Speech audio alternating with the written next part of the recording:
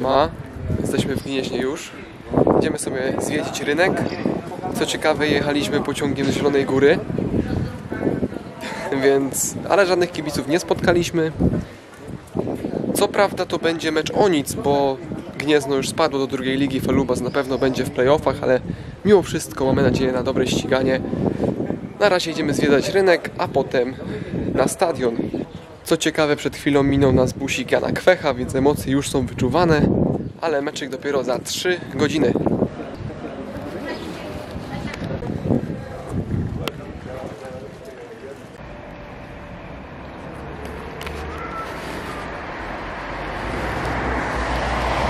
O proszę, najpierw obok Polskiego Związku Motorowego, teraz obok Kanal Plus, coraz lepiej. Idziemy na stadion już. Przyjechaliśmy stamtąd, poszliśmy na miasto tam, a teraz idziemy na stadion tam. Więc myślę spokojny spacerek, 10 minut jesteśmy. Idziemy. Nie wiem czy wy to widzicie, stadion żlowy prosto, więc tam, więc tam się kierujemy. Już pod stadionem.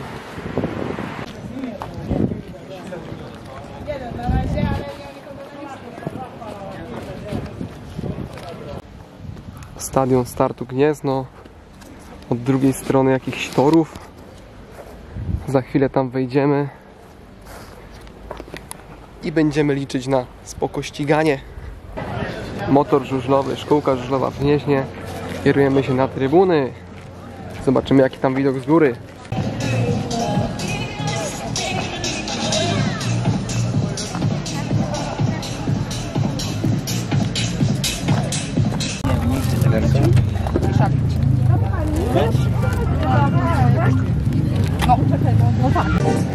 Dziwna taka trybuna główna. Może nie do końca dziwna, tylko po prostu inna niż wszystkie. Lepiej to będzie raczej z tamtego łuku widać. Z tamtej prostej zaraz tam idziemy.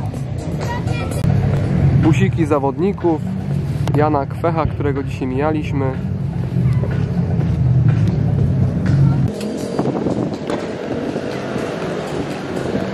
Tu będzie młyn startu Gniezno, ale dopiero się formuje.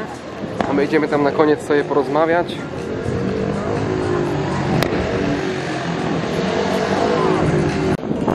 Kupiłem sobie nawet szalik startu Gniezno. Mało kibiców jak na razie. Tam kibice Falubazu. Całkiem ładnie stadionik wygląda. Troszkę inaczej go sobie wyobrażałem. Ale naprawdę ładnie. Powiem Wam, że to jest chyba jedyny stadion, który tak naprawdę nie wiedziałem jak wygląda trybuna główna. Bo tak jak wszystkie stadiony widziałem na zdjęciach, tak to mnie zaskoczyło wręcz. A patrzcie jak to wygląda. Czekajcie, obracam aparat. Mamy tak jakby główną trybunę tam, a przed tym jest ta wieżyczka sędziowska. Nawet nie wiedziałem, że coś takiego jest. A teraz już wiem. Troszkę chyba zasłania tym kibicom na główne, ale podobno e, nie tak bardzo. Oj, sorki mój palec. Siedzę teraz właśnie na trybunie z literką T. No, do meczu gdzieś 40 minut. Więc póki jest w miarę cicho, to podam Wam specyfikację toru. E, długość toru 344,5 metra. Rekordzista Peter Kildeman z tego roku, z kwietnia. E, I co tam jeszcze było? Pojemność toru 9662 miejsca.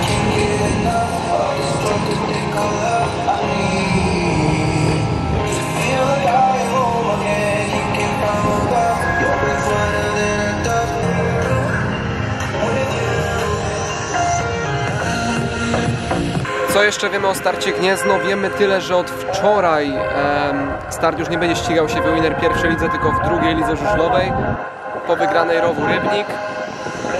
Więc ten mecz jest tak jak mówiłem wcześniej o nic, ale mimo wszystko mam nadzieję, że nikt sobie nie odpuści i będzie spoko ściganie. Parę osób chcę tutaj spotkać. Wieje przyjemny wietrzyk, mam nadzieję, że w ogóle nie słyszycie. Jak coś to będą napisy jak ostatnio. No i czekamy chyba na mecz. Nie pozostaje nam nic innego. Idziemy.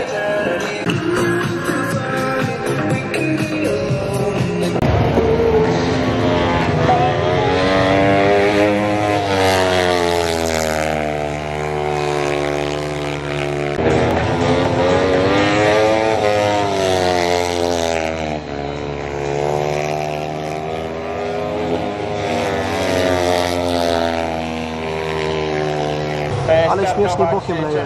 czarni będą na torach dwugonigowych. Niestety i traktor wyprzedza. Najczarniejszy sen wiedźmińskich kibiców.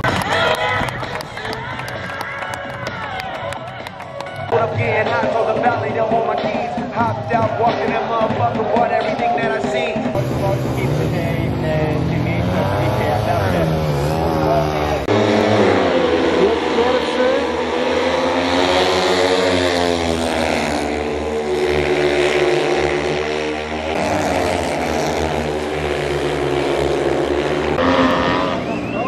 Straszny wypadek. Przejechał po... Przejechał po nim. Kto tam upadł? Kapla Czapla i... i Junior Farubazu, Borowiak? Nie, Borowiak tam jest. drugi. Ragu. I Fabian Ragus. Strasznie to wyglądało. Oby się nic nie stało, strasznie to wyglądało. Wstał czapla. Całe szczęście. Całe szczęście wstał.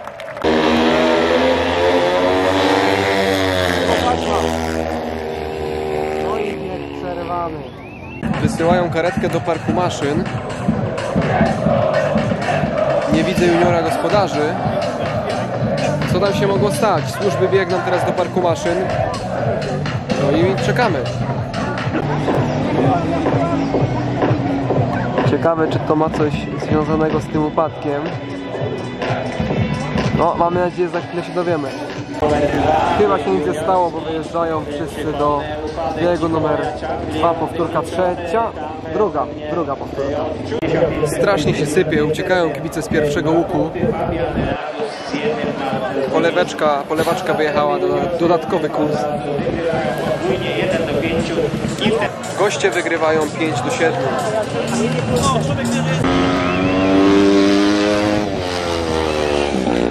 Znowu dwa wypadki, ale tym razem jakby dwa osobne chyba. Ech.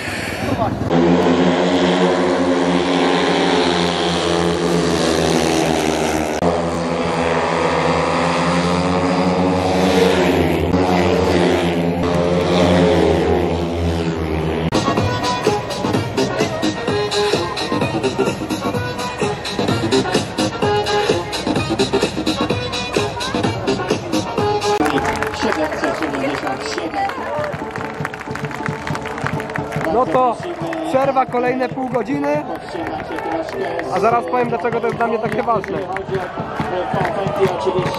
No cóż, E, czemu mnie tak bardzo wkurza to, że mecz się opóźnia? Otóż mam pociąg 16.11 z Gniezna i potem nie mam żadnych połączeń, więc muszę na niego zdążyć, a tutaj mamy dopiero siódmy bieg, e, a dopiero e, już godzinę zawodów, a mamy siódmy bieg. Więc trochę się to przeciąga, nie powiem. Więc prawdopodobnie nie zaczekam do końca meczu i będziemy musieli się szybciej e, zawinąć. Patrzcie to, nie uwierzycie kogo spotkałem. Dzień dobry. Czy to pani Dominika? Chyba tak. Tak, tak. Jak się pani podoba dzisiejszy meczek na razie? Nie podoba się. Nie podoba się? A jak się czujesz po e, spadku do drugiej ligi? Zajebiście. E, bardzo dobrze. Zapraszamy na fani czarnego sportu na Instagram i Speedway Forever, jeśli ktoś nie obserwuje. Dokładnie. Znowu? Znowu? Kolejna powtórka? Co się dzieje? No, ja się boję, że po 10 biegach będę musiał się zawijać. Coś, coś tu nie pasuje. Na szczęście Duńczyk cały i zdrowy. To najważniejsze.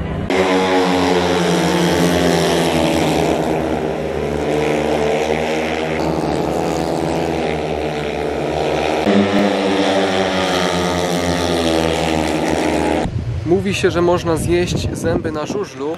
Ja dzisiaj dosłownie zębami zjadłem żużel. Tyle piachu. Dawno nie byłem na takim meczu, jakby się tak sypało i cały jestem brudny. Oczywiście to ma swój zajebisty. Bardziej za to mogę narzekać na to, że mecz się tak przedłuża, bo niestety jedyny pociąg, który jedzie o takiej ludzkiej porze, jedzie już za niedługo, więc prawdopodobnie 2-3 biegi i będę musiał się zwijać. Po raz pierwszy nie dotrwam do końca meczu. No niezbyt z mojej winy, ale po prostu tak jest.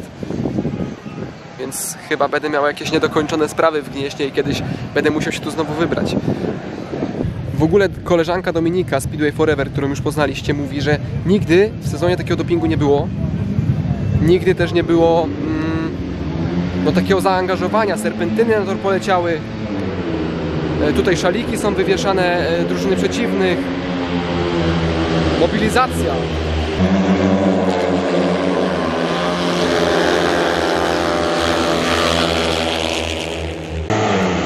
Bieg dziesiąty.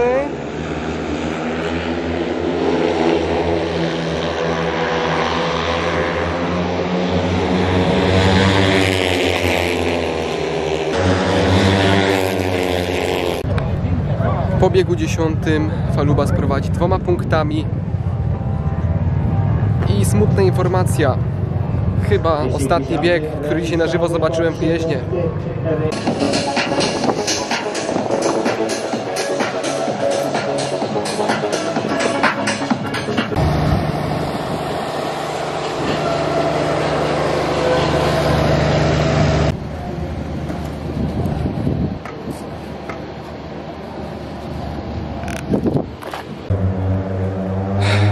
Słychać rych motorów w tle. Wyjaśnienia na spokojnie teraz. Niestety po raz pierwszy w historii trzeba się zawijać przed zakończeniem meczu, dosłownie po dziesiątym biegu. Wszystko było na przekór nam, było zaplanowane idealnie z nasz pociąg powrotny, jeśli by się nie przedłużyło.